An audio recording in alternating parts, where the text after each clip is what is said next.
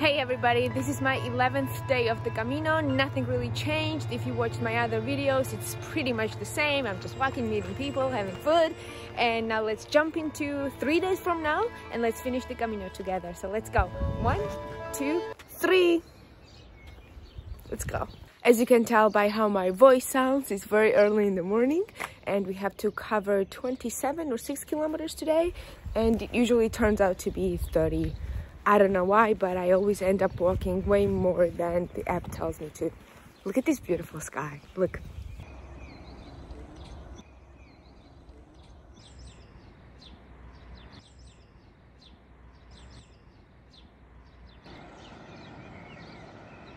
I think in Portugal I was walking by myself all the time and there were not so many people on the Camino but in Spain a lot of other Caminos joined together. And I think since this little town Redondela the Camino is full of pilgrims not only individual pilgrims or friends or couples but also organized uh, groups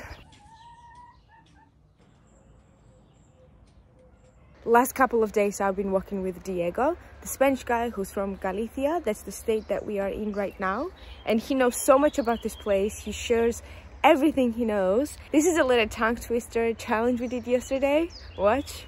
Okay, we are doing tongue twisters in three languages. Go ahead. Tres tristes tigres comían trigo en un trigal.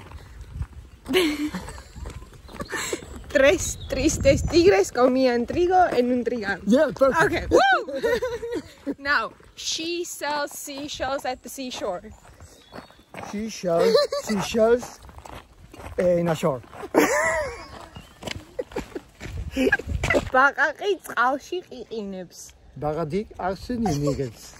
I feel blessed and he has amazing energy. He's very funny, outgoing. And yesterday he left albergue alone and he came back with nine other people. That's how um, sociable he is. And he's, again, very funny and very nice and very considerate. And yeah, I will miss him.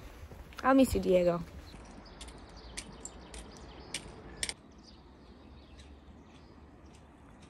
These are hórreos, a little construction to keep the corn in. And Diego told me that it's preserved heritage. And if you own it, you can't just modify it without the permission of the government. a lot of old people are doing this Camino. I think almost 80% of pilgrims are above 60. I'm at a 75 year old. And I think that's because Camino needs patience and discipline. And young people are not really famous for that.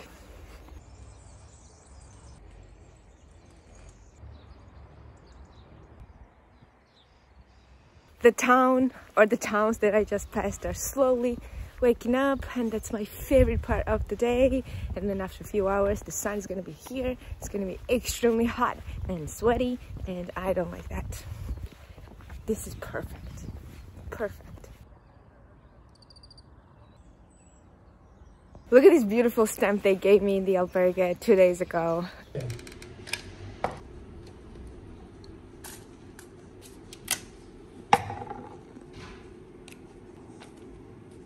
Wow. It was like a little performance that you did. I really appreciate that effort.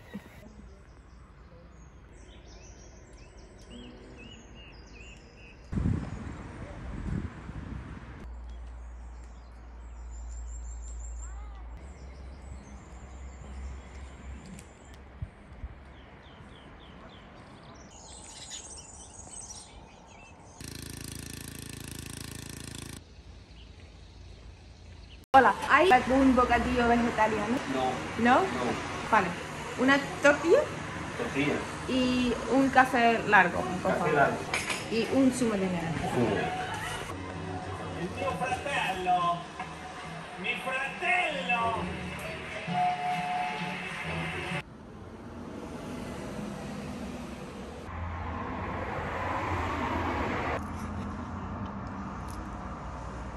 As you can see, I gave up on my veganism. It's impossible to stay vegan on the Camino. I've been eating vegetarian food. This is Spanish tortilla and little egg pie with potato. I can't believe today's the last day. Well, potentially, I'm not there yet, but this Camino's been my life, man. Like waking up, start walking, getting to the albergue, resting for the next day, and then what am I gonna do tomorrow? Seriously, should I like just go back? Maybe not. oh wow. Oh wow. I thought it would take like 20 days, but today's the 14th day and I rested on one day. I'm fast. I didn't know I was that fast. I believe fall would be really, really beautiful here. I mean, imagine all these leaves in different shades of brown. Ugh have a good reason to come back one day. All right, it's time to take this off and put the cap on. Second half and the sweatier part of the day has officially begun. So if your backpack is really heavy and you don't feel like carrying them, there's this service that brings your backpack to the next hotel that you're going to.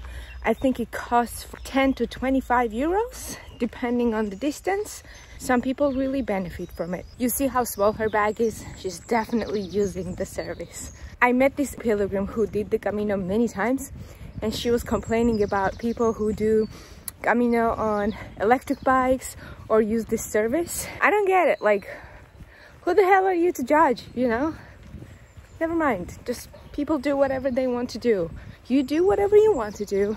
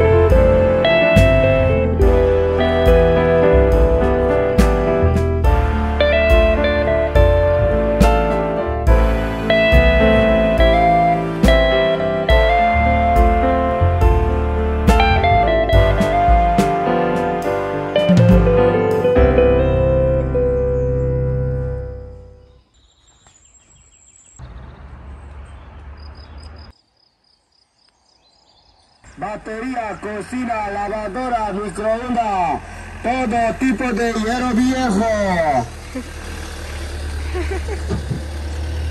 The benefit of so many people on the road is that you can never take the wrong turn. I haven't been paying attention to the signs today, I just follow them. I think I know why I end up walking five kilometers more than usual.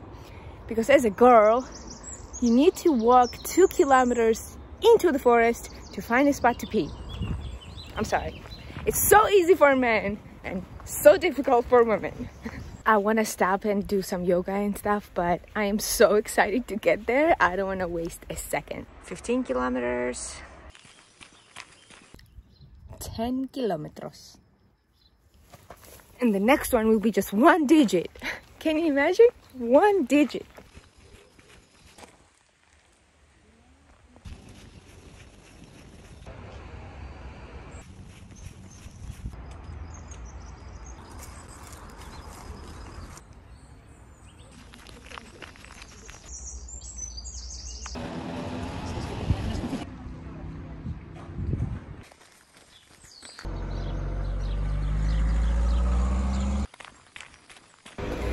There are no more signs on the road because it's just one straight line, but I definitely have only one kilometer left. I am very, very close, and this is very exciting. You see that? That's where I'm going.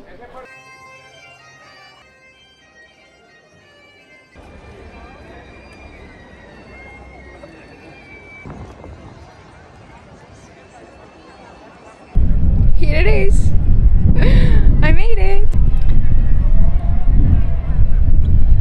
I what to say. Diego. Hey. you made it. How do you feel? Look great. Nice. How about you? Great. I feel great.